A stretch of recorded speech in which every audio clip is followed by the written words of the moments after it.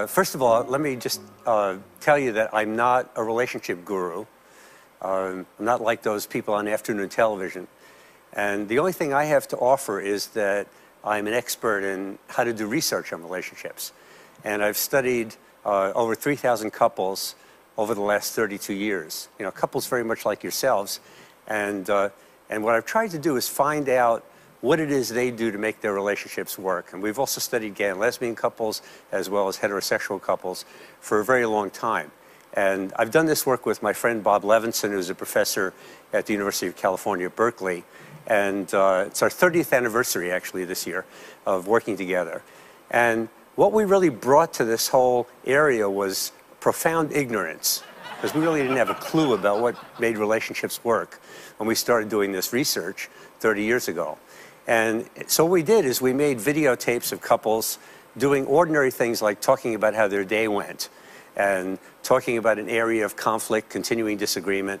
And at the University of Washington, I built an apartment laboratory that was kind of like a bed and breakfast getaway in which uh, we had couples just hang out for 24 hours.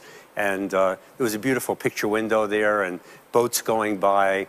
And, uh, and, you know, people just sort of listened to the music they wanted to listen to, watched television, brought newspapers to read, and did whatever they wanted to do. And the only difference between that setting and an ordinary bed and breakfast was that we had four cameras bolted to the wall, and they wore uh, Holter monitors that measured two channels of electrocardiogram. And when they urinated, we took a urine sample to measure stress hormones uh, in their urine, and we took blood from them uh, to measure how their immune system was functioning. And there were people in the other room recording their facial expressions of emotion. But aside from that, it was like an ordinary bed and breakfast getaway. And uh, we found, you know, what we basically did was study, you know, representative samples of couples. And we started with newlyweds in one study, for example. We're now in the 13th year of studying those couples. As they had kids, we studied them in pregnancy and as their, their babies developed. And then we studied kids who, uh, we studied families who were uh, in midlife, who had young kids couples in their 40s, couples in their 60s, all the way through retirement. Our current study is about 20 years we follow couples. So we didn't know if there were good relationships or bad relationships when we started. And we found out that over time, some of them, some of the relationships broke up and some of them fell apart. Some of them stayed together and were really unhappy with one another. And others, you know, kind of more or less liked each other over time and the relationships got better and better, and they, they were pretty happy. And we called that last group the masters of relationships, and the other group the disasters, the ones whose relationships fell apart or stayed together and weren't happy. And what we tried to find out was was there anything different about the masters and the disasters? Was there anything we could figure out about it? And we were very surprised uh, to find out that we could predict which couples would stay together and which ones would get a divorce with over 90% accuracy. And you know, you don't find that kind of prediction in psychology very often. Usually, we can't predict people's behavior at all. But here in relationships, we were able to predict with enormous accuracy what would happen to a relationship. In fact, in just 15 minutes of a couple talking about an area of continuing disagreement, we could predict with 85% accuracy whether they get divorced. And not only that, uh, after following couples for 14 years, we could not only predict if they would get divorced, but when they would get divorced as well. So I want to tell you about that research and what we discovered from this and how we put it all together in kind of a theory about what makes relationships work and what the principles are for making them, uh, making them get better and better and also turning around ones that are really unhappy. Now, this ability to predict divorce with very high accuracy or happiness with very high accuracy hasn't done a lot for my personal life. I don't get invited out to dinner very much, for example, you know. Very few couples want to know if their relationship is going to work or not. Uh, and in the middle of a fight, my wife is very likely to say to me, if they could see you now, you know. Uh, so, but we try to use the principles, my wife and I, we try to figure out, you know, what, how we can make our relationship better. And in fact, uh, we do a workshop in Seattle where the second day, uh, every time we do the workshop, my wife and I talk about a fight we just had. And we're never at a loss. We always have a fight to talk about. And we do this in front of 150 couples. And so, you know, part of what I want to tell you is that what we've learned in studying good relationships as well as the disasters is that we're all really in the same soup. So let me start by talking about what it is we learned that allows us to predict divorce or stability with very high accuracy. The first thing we found was that if you take a look at the ratio of positive stuff during conflict, things like interest, asking questions, being nice to one another, being kind, being affectionate, being empathetic, and you look at all the negative stuff like criticism, hostility, anger, uh, hurt feelings, and you take the ratio of positive to negative, in relationships that stay together, that ratio turns out to be five to one. There's five times as many positive things going on in relationships that work as negative. So that's an interesting equation. And it sort of suggests that if you do something negative to hurt your partner's feelings, you know, that you have to make up for it with five positive things. So the equation is not balanced in terms of positive and negative. Negative has a lot more ability to inflict pain and damage than positive things have to heal and bring you closer. Now, the couples who wound up divorced, that ratio was 0.8 to 1. So there was a little more negativity than positivity in couples who were heading for divorce. So, first of all, uh, for a relationship to feel right, it has to be a very rich climate of affection and humor and fun and intimacy and empathy. Now, in the apartment lab that I mentioned, that ratio is more like 20 to 1 rather than 5 to 1, right? So when you're just hanging out, it really needs to be an enormously rich climate of positive stuff. Interestingly enough, you might think that from that finding, what you want to do is, if you're a therapist, you want to declare war on negativity and eliminate all anger, sadness, hurt feelings from relationships. And that's not true. Turns out negativity is actually very productive in relationships because hurt feelings and negativity wind up, for one thing, culling out stuff that doesn't work in relationships, right? You hurt your partner's feelings, you learn something, right? And you talk about how to make it better next time. So you don't want a relationship where there's nothing negative going on. The other thing is it wouldn't be very real if there wasn't sadness, disappointment, you know, and there's kind of a cycle of getting closer and drawing apart uh, that happens in relationships. After a fight, people are distant for a while, and then they get closer together. So that, in fact, in relationships, as a result of negativity, there's a need to continually renew courtship in relationships. And so that's the importance of that finding about negativity and not declaring war on negativity. You don't want to get rid of anger. You don't want to get rid of sadness. You know, that's kind of our inheritance when we have a close relationship. We get all the emotions. Now, the next thing that Bob and I wanted to know was are all negative things equally corrosive? Are there some things that really are a lot more negative than others? And in fact, there are. And I wound up calling those things the four horsemen of the apocalypse. And because there were four things that really were very predictive of divorce and they were characteristic of the disasters and very different from the masters. The masters are dealing with conflict in this way. It's kind of like if I was holding, imagine I was holding an invisible soccer ball right here, okay? And this soccer ball represents our problem. And my wife and I are kicking this ball around. And that's the way the masters deal with things. Now, the disasters from the beginning try to put that ball in their partner's body. And they're really saying, You're the problem, right? So the first horseman of the apocalypse is what we call criticism. And criticism is a way of complaining that suggests that your partner's personality is defective. Okay? And now, what are the masters doing? The masters are still complaining, right? But they're talking about themselves, talking about their feelings, and what they need. So let's say, for example, I complain. And I want to complain the way, you know, a really great relationship would complain. I might say to my wife something like, you know, you talked about yourself all through dinner. You never asked me anything about my day. And that hurt my feelings. I really need you to ask me about my day. Okay? So there I'm talking about myself, what I feel, and what I need, right? Now, the disasters would try to make that just a symptom of my wife's defect. And I would say to my wife something like, You know, you talked about yourself during dinner. You never asked me anything about my day. What is wrong with you? This is a great question, right? What is wrong with you? Does anybody ever answer that question? Hey, I'm glad you asked that. Let me take a look and see what's wrong, you know? It's not really a question, right? Now, the second horseman of the apocalypse kind of follows from the first because if you feel criticized, you're going to be feeling attacked and you're going to be warding off this attack, right? And that's defensiveness, the second horseman of the apocalypse. And we found there are two ways of becoming defensive that are most common in couples. The first is righteous indignation. And in righteous indignation, what you're doing is meeting a complaint with a counter complaint. The second way of being defensive is I can act like an innocent victim. And the most common way people act like an innocent victim is they whine. I cared about your day, I really did. I was really interested in your day. Now, what's the, what's the opposite? What's the constructive alternative? What do the masters do instead of get defensive? It's very simple. They accept responsibility, even for a small part of the problem. So she says to me, all through dinner, you talked about yourself. You never asked me about my day. I can say, God, good point.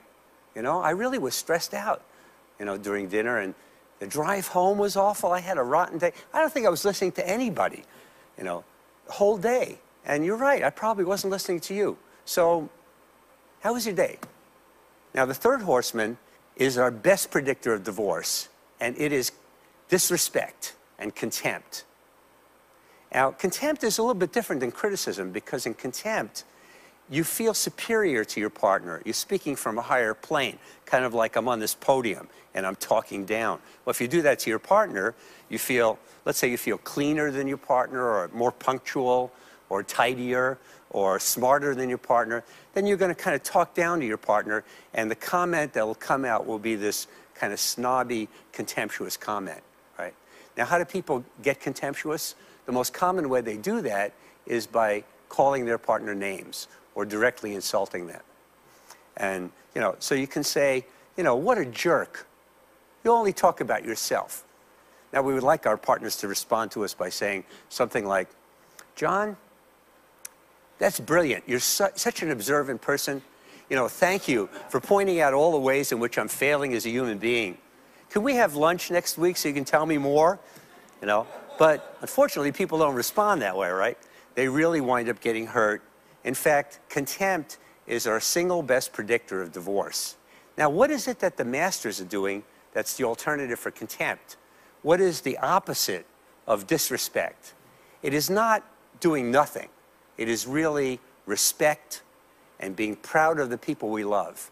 And what the masters are doing is creating in the relationship a culture of appreciation.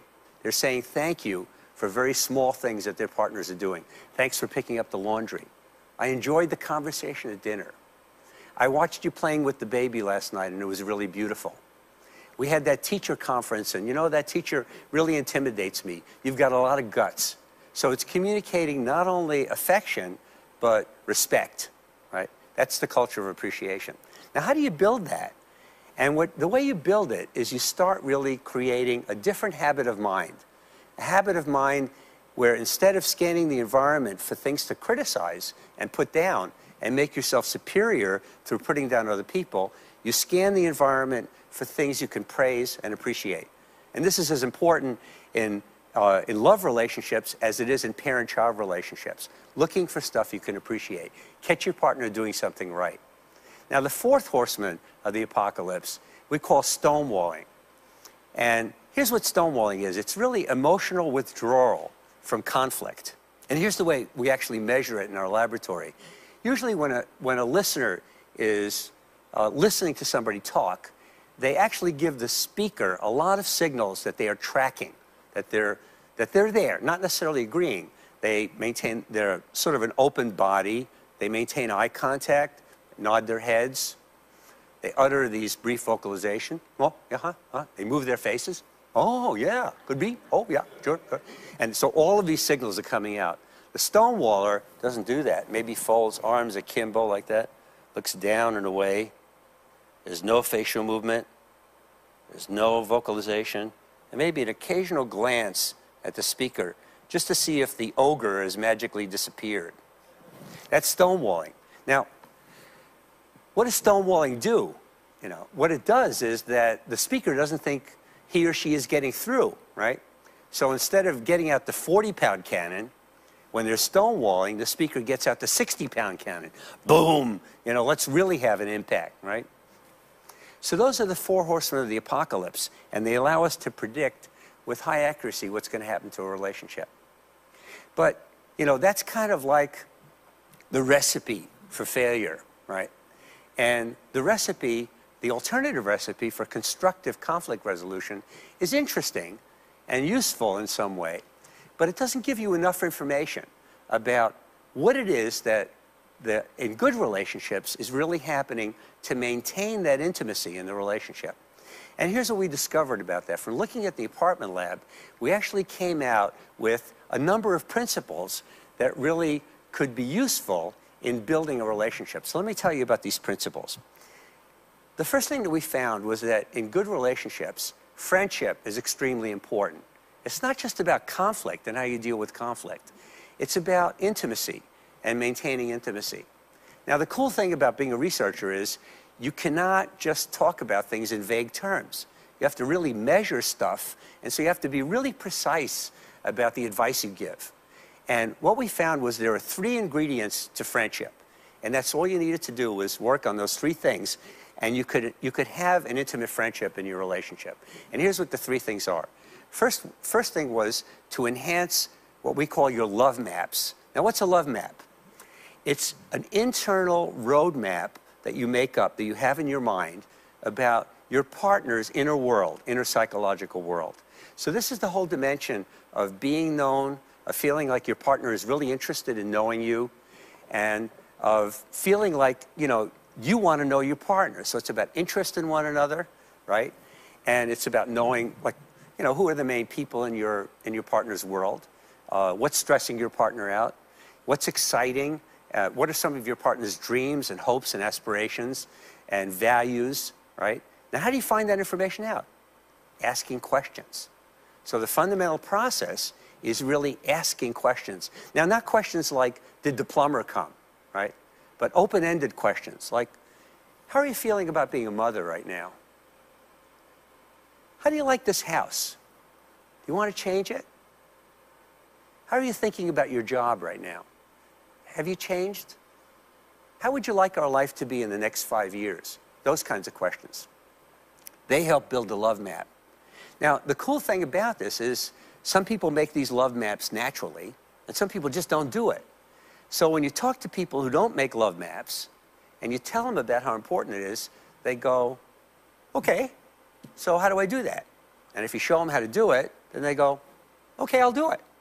Now, if you want to really try changing your life, in the area of relationships in the next two weeks, try making 50% of the things you say to people a question, an open-ended question.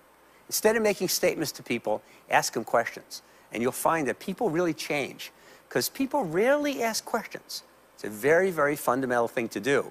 And yet it's a very rare thing. People mostly make statements and broadcast rather than saying, well, what do you think about this? Asking those kinds of questions. So love maps is the first ingredient of friendship. The second one is what we call fondness and admiration. And I mentioned that in the culture of appreciation. It's really about communicating affection and respect in very small ways. And that's what the masters are doing. They're creating this culture of appreciation in very tiny ways. They're saying, thank you, I'm proud of you, I really admire you, I respect you.